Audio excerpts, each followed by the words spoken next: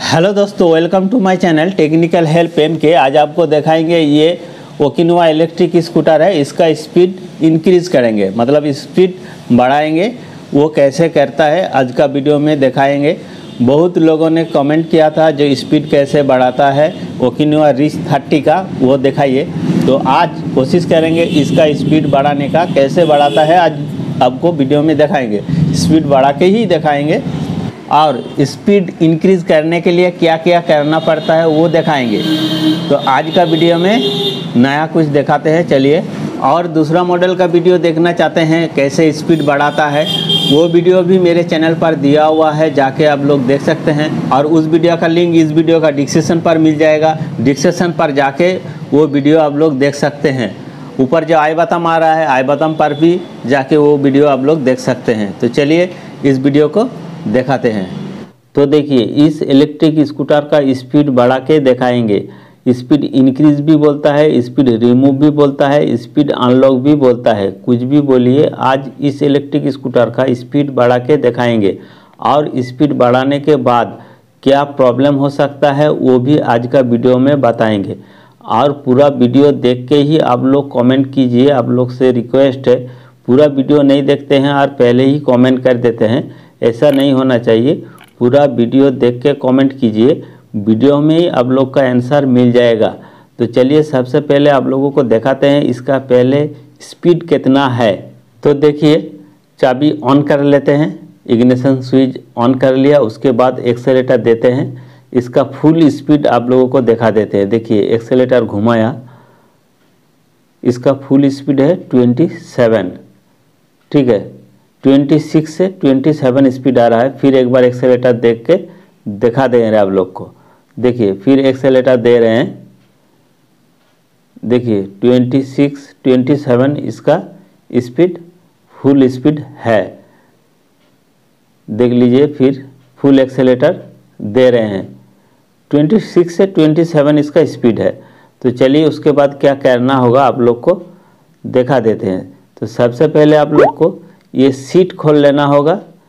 पीछे का जो सीट है सीट में चार बोल्ट रहता है, उसको खोल लेना होगा। चारों बोल्ट दिखा देते हैं। देखिए, ये एक बोल्ट ये एक बोल्ट उधर एक बोल्ट और इधर एक बोल्ट ये चारों बोल्ट खोल लेना होगा। खोल के आप लोग को दिखाते हैं। थोड़ा वीडियो फास्ट कर लेते हैं, नहीं तो वीडियो बहुत लंबा हो जाएगा। तो देखिए सीट खोल लिया। उसके बाद आपको दिखाते हैं कंट्रोलर खोल लेना होगा। नहीं खोल के भी आप लोग कर सकते हैं, लेकिन आप लोग को हम खोल के दिखाएँगे। खोल के दिखाने से अच्छा से आप लोग समझ पाएँगे। तो देखिए, ये है कंट्रोलर ये कंट्रोलर खोल लेंगे। ये कंट्रोलर इधर भी देख सकते हैं, ये कंट्रोलर है। चलिए इस कंट्रोलर को खोल लेते हैं, और इस कंट्रोलर को खोलने के लिए दोनों स्क्रू रहता है। कंट्रोलर का इधर एक, और उधर एक। और बॉडी में एक अर्थ लगा हुआ रहता है, जो ग्राउंड कहते हैं। इसको खोल लेते हैं, खोल के आपको दिखाते हैं, वीडियो थोड़ा फास्ट कर लेते हैं, नहीं तो वीडियो बहुत लंबा हो जाएगा। और आप लोग को एमसीबी भी खोल लेना होगा एमसीबी सिर्फ़ एक लॉक में लगा हुआ रहता है।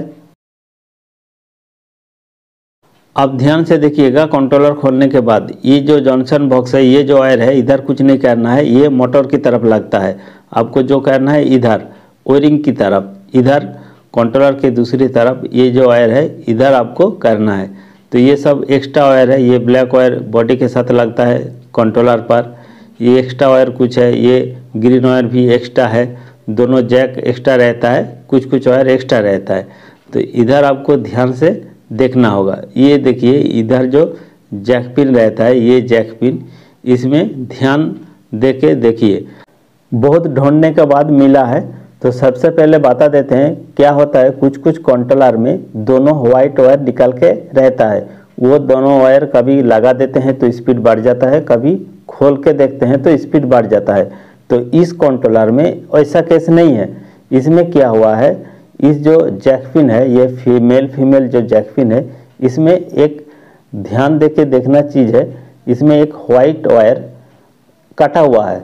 मतलब वायरिंग से जो वायर आया है, उसमें वाइट वायर लगा हुआ है, लेकिन कंट्रोलर की तरफ़ जो वायर लग रहा है, उसमें वायर नहीं है जैक पिन पर कटा हुआ है। जैक पिन मतलब जिसको कनेक्टर कहते हैं। कनेक्टर का लास्ट में कटा हुआ था, आप लोग को देखा देते हैं। ये देखने का चीज़ है, ध्यान से आपको ढूंढ के, दिमाग लगा के ये करना पड़ेगा, ठीक है? जो वाइट वायर है, ये वाला वायर वायरिंग से आ रहा है, लेकिन कंट्रोलर की तरफ़ यहाँ पर कटा हुआ है। दिखा देते हैं। देखिए, यहाँ पर कटा हुआ है, ठीक है? कंट्रोलर पर लगा हुआ नहीं है, ठीक है? कंट्रोलर से वायर निकल रहा है, लेकिन यहाँ पर लगाया हुआ नहीं है। आपको दिखाते हैं बाद में। इस वायर को ध्यान से देखा है, ये सही है। ये पर, कहीं पर भी ये कटा हुआ नहीं है। तो इस पर जो काम करता है, ये वायर जो ओकिनोवा मॉडल होता है, वहाँ पर एक एक्सीटर थोटल के वहाँ स्पीड बढ़ाने का स्विच रहता है। आप लोग को देखा देते एक बार, देखिए, यहाँ पर एक, ये पुराना वाला एक्सेलेटर मुटी है तो हमने चेंज किया, ये नया वाला लगाया, टोटो का लगाया, वो भी दिखा देंगे आप लोग को कैसे टोटो का एक्सेलेटर आप लगा सकते हैं। इजी प्रोसेस है, दिखाएँगे दूसरा वीडियो में। ये एक्सेलेटर मुठी नया वाला है, और ये कंपनी से लगाया हुआ एक्सेलेटर मुठी आता है। यहाँ पर एक स्पीड कंट्रोल का स्विच रहता है, इकोनॉमी मोड स्विच। ये स्विच का काम होता है, आपको स्पीड बढ़ाता है स्पीड कम करता है। कुछ कुछ मॉडल में ये काम करता है कुछ कुछ मॉडल में काम नहीं करता है। जिस मॉडल में काम नहीं करता है, उस मॉडल पर, वहाँ पर कटा हुआ रहता है। कंपनी ने इसको चालाकी से काट देता है। अब ये वायर क्यों काटता है, उसका भी रीजन है वीडियो में आगे बताएँगे। ये स्विच काम नहीं करता है, इसीलिए वहाँ पर कटा हुआ रहता है। कुछ कुछ मॉडल पर, यहाँ फ्रंट पर भी, यहाँ पर खुला हुआ रहता है। वो भी आप लोग को देख लेना होगा। यहाँ पर खुला हुआ रहता है जैक पिन आपको दिखा देते हैं एक बार वीडियो में। देखिए, ये वाला जैक पिन खुला हुआ रह सकता है। कुछ कुछ मॉडल पर यहाँ पर भी खुला हुआ रहता है। चलिए आप दिखाते हैं कंट्रोलर पर। तो देखिए, ये वाला वायर वाइट वाला, इधर लगा हुआ है। वायरिंग से आ रहा है, यहाँ पर लगा हुआ है, लेकिन इधर नहीं लगा हुआ है। इधर, देखिए, ध्यान से। अब आपको क्या कहना है, वो आपको दिखा देंगे। ये वीडियो थोड़ा लंबा हो सकता है, पूरा डिटेल्स दिखा रहे हैं। जिस मॉडल का नहीं हो रहा है तो ये सब चेक करिए, ज़रूर हो जाएगा आप लोग का। ठीक है? तो यहाँ पर देखिए क्या चालाकी किया कंपनी ने। ये जो कंट्रोलर है, यहाँ पर ब्लैक और वाइट वायर दिखाई दे रहा है, लेकिन उधर नहीं है।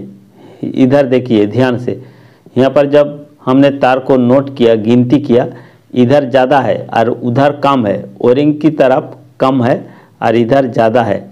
दोनों वायर इधर ज़्यादा निकल रहा है। वीडियो को ध्यान से देखिएगा तो अच्छा से आपको समझ में आएगा। देखिए, इधर जो वायर है, एक ब्लैक है और एक वाइट है। मतलब पूरा वाइट नहीं है ब्लैक ब्लैक वाइट और दो ब्लैक है, उस दो ब्लैक को छोड़ के आपको वायरिंग पर ध्यान से देखना होगा।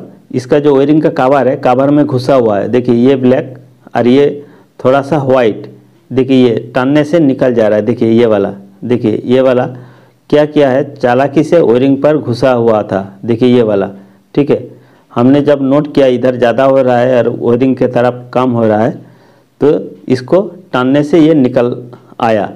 यहाँ पर घुसा हुआ था। ये ब्लैक कवर में घुसा हुआ था वायरिंग के अंदर। ये वायर देखिए, ये वाइट वाला वायर ठीक है? ये कलर ये ब्लैक के साथ जोड़ा हुआ रहेगा तो आपको स्पीड नहीं मिलेगा। तो इसको खोल देते हैं। खोल कर आपको स्पीड बढ़ा के दिखाते हैं कितना बढ़ता है। आप बताते हैं, ये वायर क्यों काटा हुआ रहता है, इसका रीज़न क्या है? तो देखिए, कंपनी इसीलिए काट के देता है, अगर आपका 25 से स्पीड ज़्यादा होगा तो आपको road tax registration driving licence लग सकता है। आरटीओ का सारा नियम कानून जितना है, मानना पड़ेगा। स्पीड 25 से ज़्यादा होगा तो।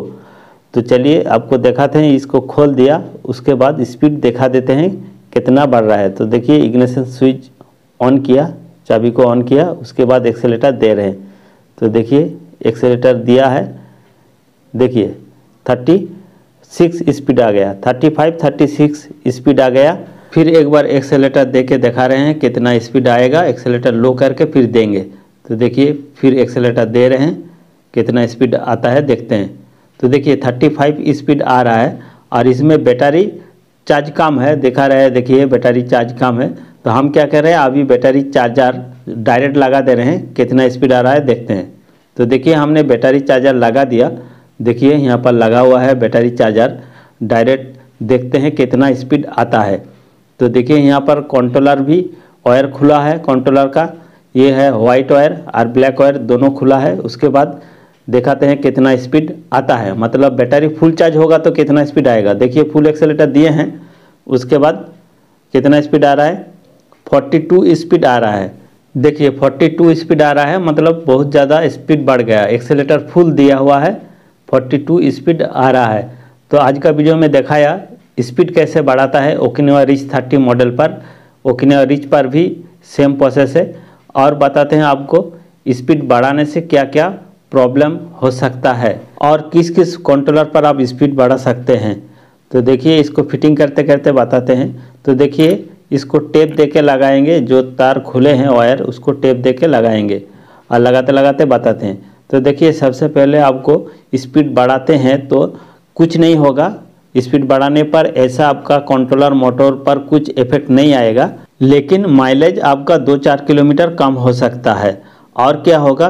25 से ज़्यादा स्पीड होने से आर का आइन मानना पड़ेगा। Road tax registration driving licence लग सकता है। और अब बताते हैं किस किस मॉडल पर आप कर सकते हैं। तो देखिए, जिस मॉडल पर, जिस कंट्रोलर पर ऐसा सिस्टम रहेगा, उसी मॉडल पर आप कर सकते हैं स्पीड इंक्रीज नहीं तो नहीं होगा। जिस मॉडल पर, जिस कंट्रोलर पर ऐसा सिस्टम नहीं रहेगा, उसमें स्पीड इंक्रीज नहीं होगा। वो कंपनी फिक्स कर दिया है। और ज़्यादा स्पीड बढ़ाना चाहते हैं तो हाई स्पीड कंट्रोलर या मोटर लगा सकते हैं। और इलेक्ट्रिक स्कूटर का नया नया प्रॉब्लम सॉल्व करना वीडियो देखना चाहते हैं। कोई भी प्रॉब्लम का सॉल्व करना वीडियो देखना चाहते हैं तो मेरे चैनल पर जाके देख सकते हैं। इसीलिए चैनल को सब्सक्राइब ज़रूर करके रखिए। सब्सक्राइब करने से हो गया क्या? हम जब भी यूट्यूब में वीडियो अपलोड करेंगे, आपको तुरंत मिल जाएगा। और बगल में बेल का आइकन ऑल नोटिफिकेशन करके रखिए। सबसे पहले वीडियो देखने के लिए। इस वीडियो को देखने के लिए सभी को बहुत बहुत धन्यवाद। मिलते हैं दूसरा वीडियो में। और वीडियो अच्छा लगा तो ज़रूर लाइक कीजिए शेयर कीजिए चैनल को सब्सक्राइब करके रखिए। इसी तरह नया नया वीडियो देखने के लिए